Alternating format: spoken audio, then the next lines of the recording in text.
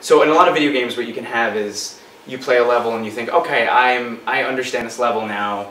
Even if you keep dying, now I can win because I get it. But with this game, you can't. It doesn't necessarily work like that because each level is randomly generated. Like every, Yeah.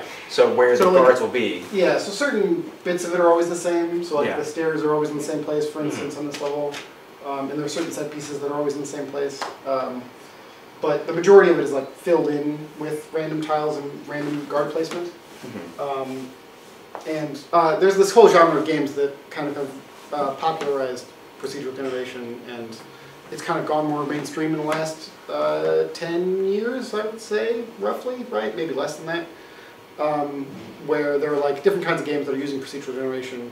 Uh, no Man's Sky is a big example that you Mhm. probably have all heard of. Um, he was on Colbert, it was like a big deal, and people didn't like the game.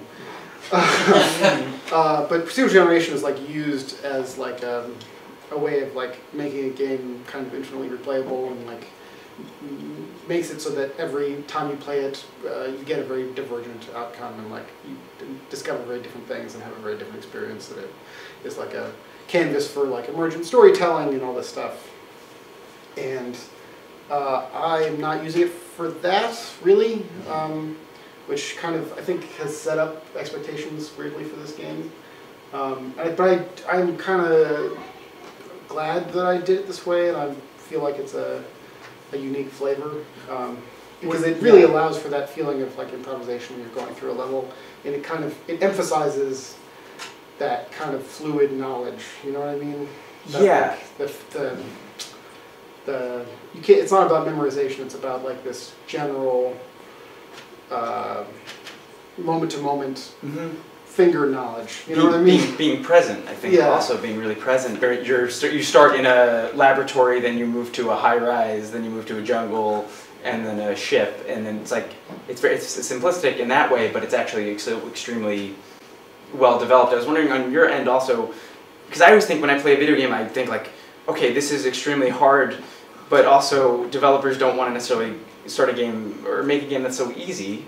Uh, so what was your mindset going to that about like, okay, make Diffi- like difficulty wise. yeah, just difficulty of the actual game because it gets a lot harder as it goes on, as would most video games. But this Yeah. one specifically is very difficult. That's Yeah. Um, I think some of it is just like I like those games. Yeah. You know, and like I've gone back and forth a lot about how this game, how hard this game should be, and like um, what exactly the flavor of the difficulty is. Yeah. Um, but um, a lot of it is just like I like personally being thrown into the deep end and like trying to figure it out, uh, especially when the type of problem that you're dealing with isn't um, about like learning a bunch of controls and all these systems that you that are not readily apparent, but instead like just uh, learning about like the fundamental uh, rules of the world Mhm. and you have a simple means of approaching it. Um, but yeah, I think also part of it is just that uh, flavor-wise, uh, the game should be hard because it's hard. You're a gorilla, you know. You're like, Yeah, you have your well, bare hands against a bunch of dudes with guns. Well, that's like- on that note. What's it, it felt untrue when I ma- make it too easy.